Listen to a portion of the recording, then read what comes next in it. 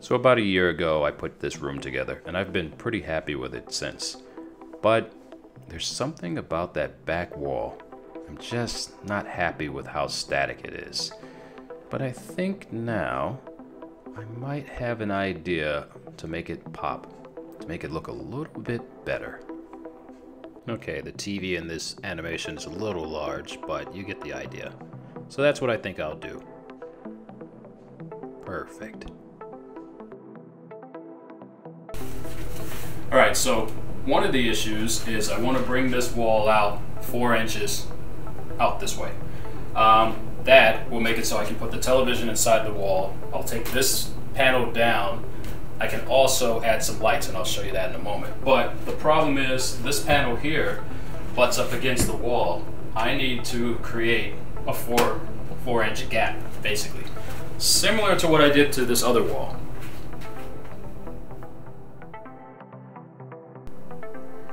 So now it's time to do something I really don't want to do, but the payoff will be in the end, and that is demolition.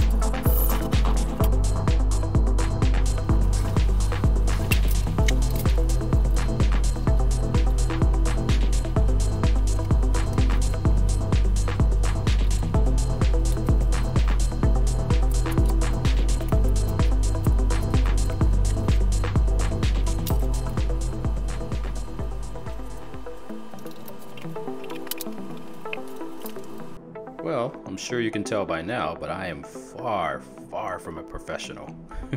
I also want to apologize for how boring this might have been. So you already saw I did move the light switch to the other side. It's funny, it was originally on this wall to begin with. I also cut the carpet.